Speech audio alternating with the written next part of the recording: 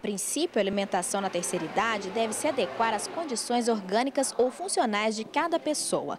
Na verdade, ela precisa ser muito rica em vitaminas, minerais, enzimas, fibras e muito pobre em produtos refinados. A alimentação ideal para o idoso é né, a utilização de uma diversidade maior dos alimentos fontes dos nutrientes mais importantes para o idoso.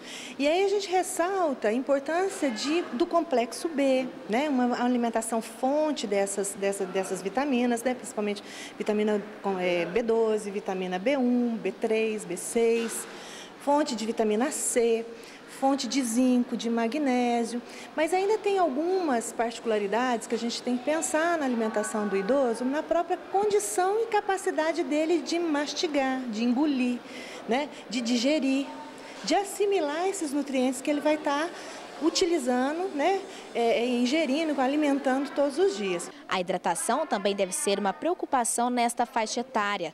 O ideal é ingerir bastante líquido várias vezes ao dia. Que o idoso é dos, né, dentro da fase, de todas as fases etárias, aquela população que mais precisa de água, porque ele tem, né, fisiologicamente, uma condição imprópria de manutenção da quantidade de água corporal e uma quantidade, uma, uma, uma capacidade também imprópria de requisitar água.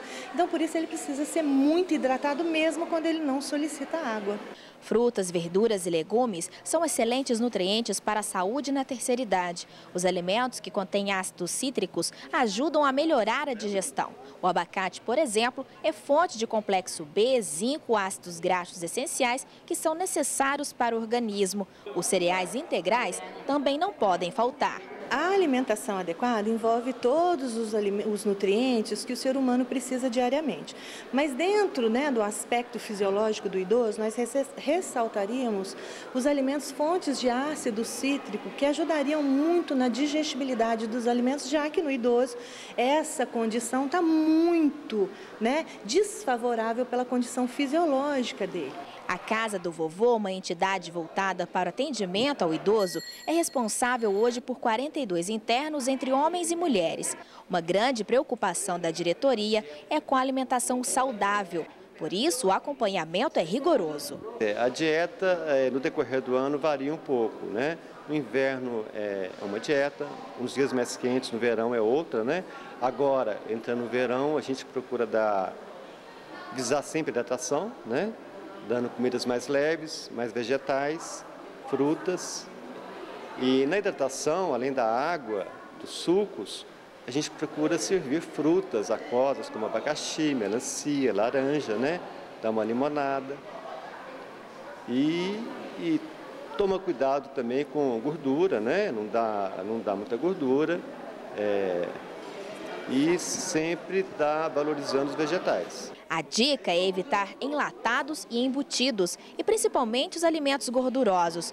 Outra recomendação é que as refeições sejam distribuídas em pequenas porções mais vezes ao dia, evitando sobrecarregar a digestão. De maneira geral, as mesmas orientações né, que devem ser restritas para o adulto também devem ser restritas para o idoso. Agora, um pouquinho mais acentuadamente, né, porque o idoso está numa fase em que ele está né, particularmente mais propício a desenvolver, por exemplo, diabetes. Então, açúcares simples, açúcares né, de mesa, como açúcar refinado, açúcar cristal, precisa ser evitado, porque ele tem uma dificuldade maior, por exemplo, na resistência à insulina. Então, é um alimento que, por exemplo, ele poderia estar evitando. Outro alimento ou nutriente que ele poderia estar evitando são as fontes de sódio, de sal, né? que não diferente do adulto, né, em outras fases etárias, mas no idoso, ele particularmente tem uma deficiência né, na filtração pelo rim para poder eliminar esse metabólito.